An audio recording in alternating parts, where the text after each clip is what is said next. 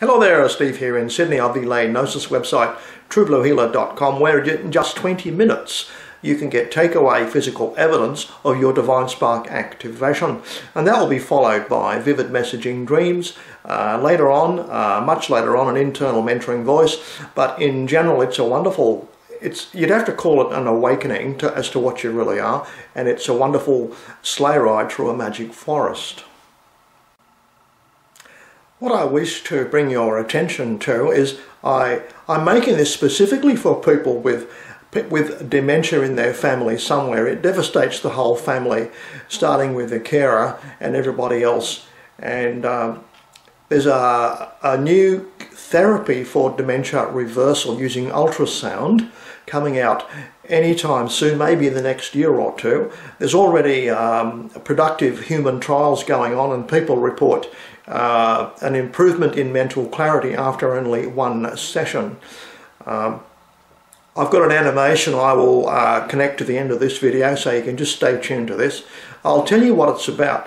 The ultrasound is used to um, open the blood-brain barrier uh, to allow uh, medicines into the brain. The blood-brain barrier exists. It's a molecular physical filter, a very fine mesh, so that only small molecules can get in. Uh, the bare necessities of life, basically, such as glucose, ketones, uh, some immune system cells, etc.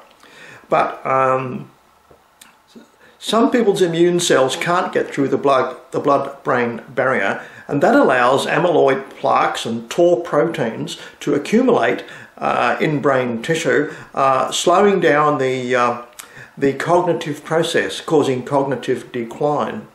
Uh, it's already been discovered just by um, opening up the blood-brain barrier with ultrasonic physical vibration, that's mechanical vibration, that um, the um, the blood-brain barrier opens uh, a little bit more and allows larger molecules through, such as the necessary human immune cells to get in. Uh, and that's, that's already uh, providing uh, improvements in dementia. It's already been done in mice and sheep, I believe. It's just been published in a journal. I'll put the name of it there if you want to read it. But more exciting are the human trials and the uh, little uh, graphic I'll give you at the end of this video. And a, an example of how the human blood-brain barrier is a blessing and a curse is that it, keeps poisons, toxins, large molecule substances out of your brain.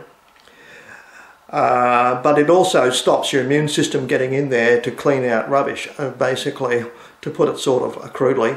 And a good example of the difference when you uh, uh don't have to uh, fight the blood-brain barrier uh, that, do you remember many years ago when you had a runny nose in springtime, you might go to the chemist and get antihistamines, and the problem was they put you to sleep.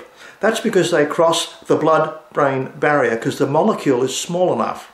So the warning on the box says, uh, don't operate machinery, uh, don't drive a motor car while you're taking these antihistamines. So you've got to drink coffee to drive or something like that.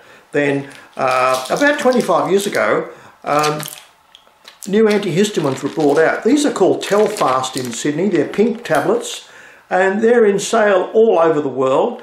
Um, different names, of course.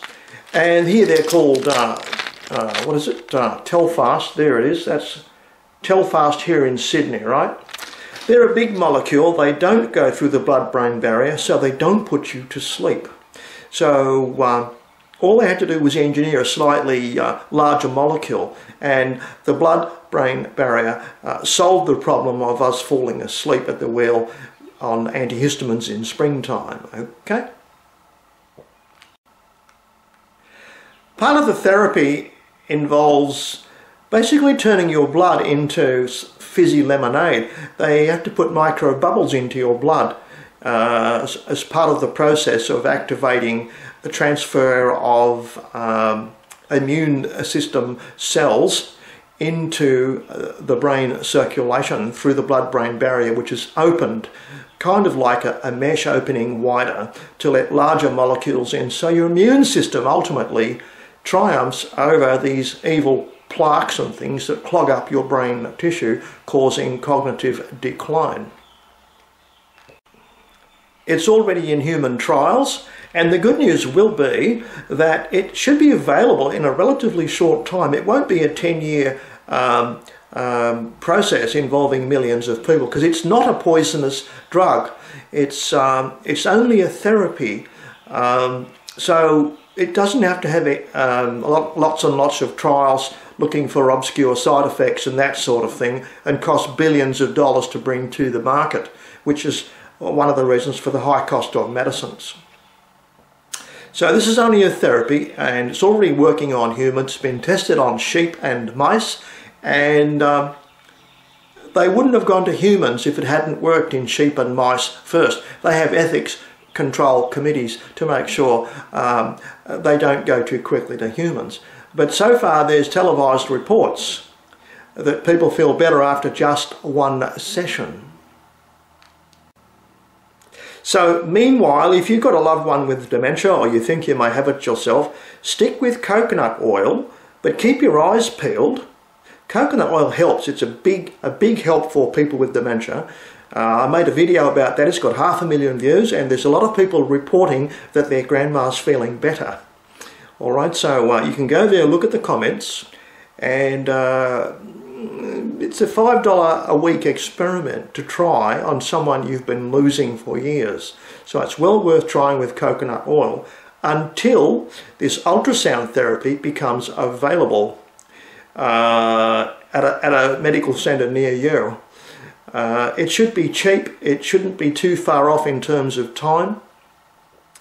And uh, I commend it to you. It's coming from the University of Queensland's Brain Institute.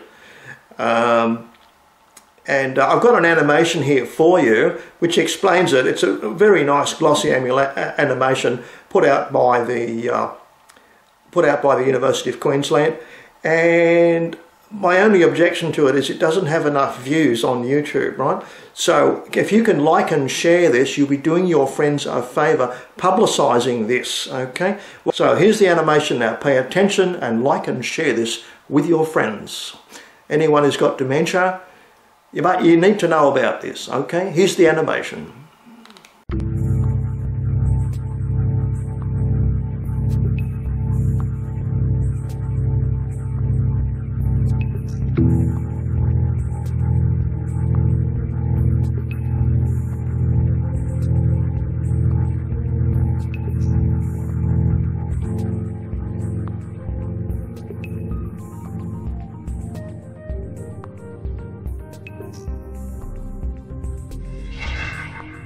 In the brain of a person with Alzheimer's disease, you'll see clusters of toxic amyloid beta plaques building up between nerve cells or neurons.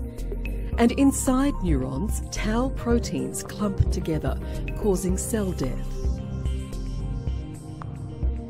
Ideally, we can use drugs to remove this toxic buildup, in turn reversing the cognitive damage. But this drug delivery is hampered by the blood-brain barrier, which acts as a strong shield, stopping drugs from penetrating to where they're needed.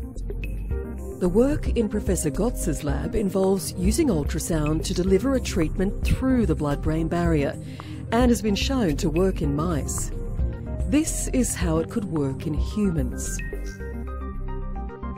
First, the patient is injected with microbubbles.